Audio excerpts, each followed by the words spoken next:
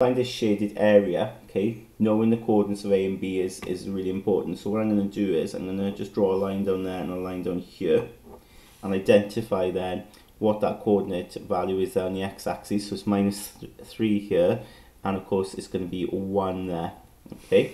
So we want the area of the shaded region, okay.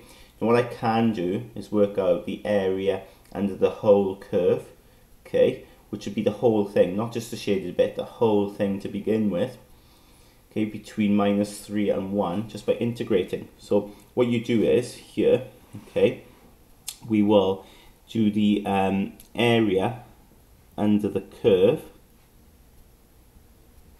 okay, which will equal to the integral of um, 16 minus x squared, because that's the curve, isn't it, between minus 3 and 1 dx Okay, so if I integrate that, now remember when you've got um, limits here, okay, we put the integral in, in a box, so you get 16x when you integrate that, and when you integrate this it becomes x cubed, doesn't it? Increase the power by 1, divide by that new power, over 3, between 1 and minus 3. So we just got to sub that in then, okay, so we've got 16 times 1, take away 1 cubed over 3, so I put 1 in to start with, Okay, some people like to put that in a bracket to just make it clear. So you put in 1 in.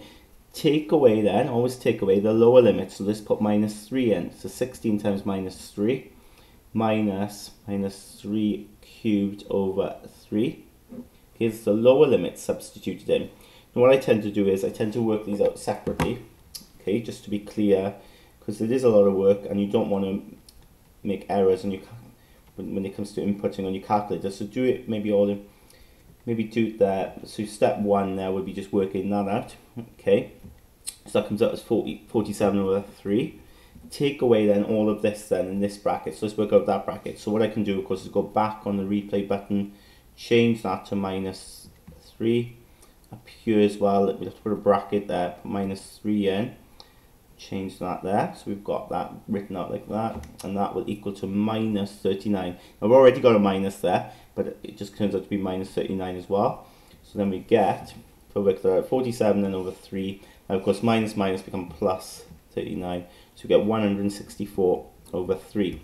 If you think about it, right, there's my answer. If we go back to the, the graph, I've now worked out the area under the curve. So I've worked out all of this, yeah? I've worked out the whole thing. Okay. Now to get the shaded bit, I need to work out the area under that line, yeah?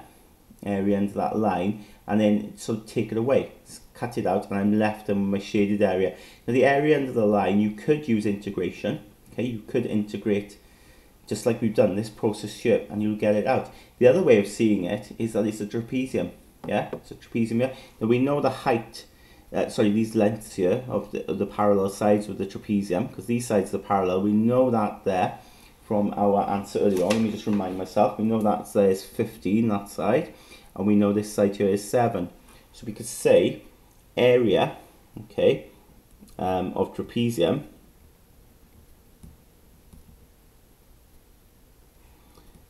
can't spell it, area of trapezium is equal to half a plus b h, okay, so that will be half, now the a and b, remember in trapezium are the sides that are parallel, so 15 and 7, and you times it by then the, the height between them and you can work that out easily to be 4 can't you? So if you work that out that comes to be 44 okay? Now that's just a quick way of doing it. You could have integrated between those limits. You'll end up with the same answer.